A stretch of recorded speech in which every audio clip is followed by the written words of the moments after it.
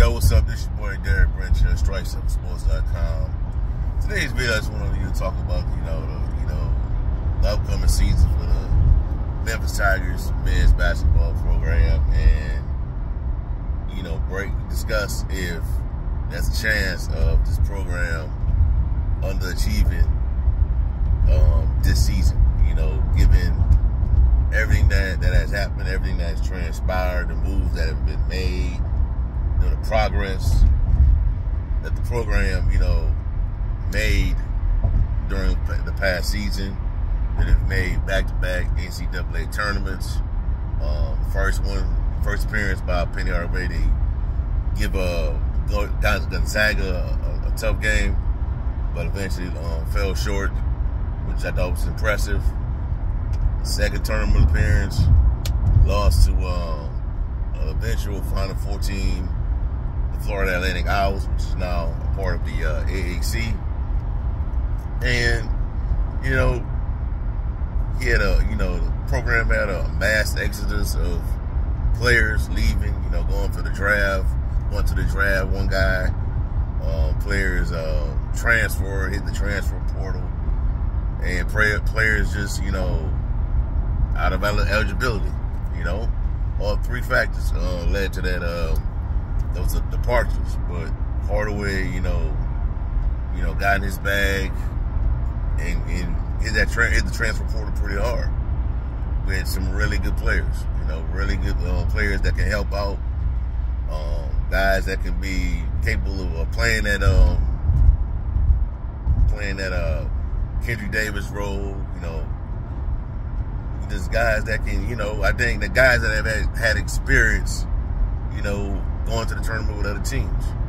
And a lot of, you know, pundits out there, you know, college basketball analysts, you know, are, you know, pegging that Peg has tagged Memphis as a, a dark horse team that could get to the Final Four.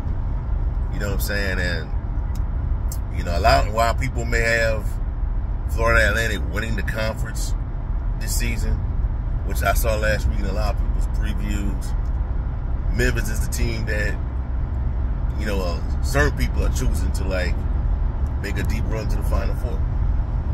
Now, with that being said, is there a chance that this team's program can underachieve this season? Um, it's possible. I think it's possible slightly, slightly. It's possible, but I don't see it happening. You know, I was, I know, and what I, what do I define as underachieving? I define underachieving as Tigers um, scrapping and cloning during the final couple of weeks of the college basketball basketball season to get to the tournament, to make to you know make themselves eligible for the tournament. Uh, that's what I find. That's what I call um, underachieving. Um, another first round exit even though it is possible, you know, it's March Madness and all that, but I think I found that underachievement. You know what I'm saying? I think I think this program is well equipped to go on a run. That's what I think. You read my preview from last week, my 2023-2024 season preview on the program. I think they can make an elite, uh, the Elite Eight this season. That's how talented I think they are. You know what I'm saying? You got guys that you got multiple guys that can score points on this team. That probably I think multiple guys that can go backpacking. You know what I'm saying? And carry this team if they have to, like a Kendrick Davis did last year, or DeAndre, DeAndre Williams. You know what I'm saying? And if you get DeAndre Williams back, that makes your team even more deeper than what it is. You know what I'm saying? Um, unachieving to me, unachieving to me is not making the tournament at all. You know, going playing for the NIT. You know what I'm saying? Um, I think they can win the conference. You know, unachieving to me is you allowing, you know, teams that you fall better than beat you. Like similar to that that 2019 season, that 20 20 season, that COVID year, where you you know you was better than these programs, but you fell short. You know what I'm saying? I think you got guys that are way mature than those rosters on this team.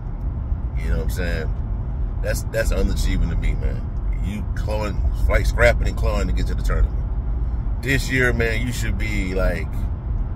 I know you got a, like a tough, a slightly tough, um, out of conference schedule, but you should be out of that. That um, Joe, Joe Lunardi's last four in or last four byes and you know things like that this season. You should be nowhere near that that type of uh, round. You should be a tournament team, team that's in the tournament. You know, people. I was the last one I read from Lunardi was like Memphis was like a seven seed. You know what I'm saying? So there should be no last four byes and last four wins or first four wild or things like that. You should be nowhere near that that um that round of season. Because outside of FAU, um, and maybe Tulane to a certain extent, because they did beat you twice last year in the regular season. Memphis is like one of the best team in that, in that, uh, in that conference. You should have no issues with those opponents this year. You shouldn't. You know what I'm saying? So, underachieving to me, I don't think this program was going to underachieve, but that's a slight chance because it just Memphis on every when teams see Memphis on that schedule this season, that's everybody's Super Bowl. That's everybody's March Madness moment, March Madness game. You know, they have that game circle. And in the past, we have seen it. You know, teams that, that Memphis may be far superior than will give Memphis a tough game, a tough way to go. You know what I'm saying? So, yeah, that that um factor in as well. But like I said, with the guys you have on this roster, um, hopefully that everyone everybody's bought in to the vision.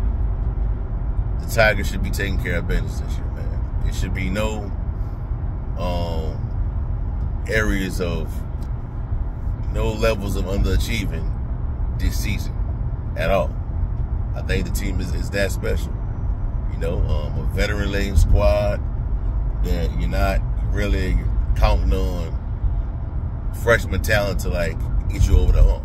And I'm not knocking these guys we have now with J.J. Taylor, Carl Cherenfant, those uh, Ashton Hardaway. I'm not knocking those guys or anything like that, but I'm just glad that you don't have you're not counting on those guys to like be um become big time contributors for you. And if they do, great. But if they come in and chip in and play their part for right now, that's great as well. You know what I'm saying? So we, we'll we'll we'll just um have see how it's gonna play out, man. But there's always gonna be a chance of them, a slight chance of them underachieving this season. But I don't, don't see it this year, man. I don't see it this year. You know, I don't see I don't see FAU being the juggernaut that they are either. But we'll see how it's gonna play out. Okay. All right, so that's right now, man. Give me a like, comment, subscribe to the channel. Let me know how you feel. Do you think that's a chance that Memphis can achieve this season? Also, check out strike7sports.com for his content on the Memphis Tigers football, basketball program, along the Grizzlies, NBA content, NFL content as well. Have a blessed day. Peace. I'm out.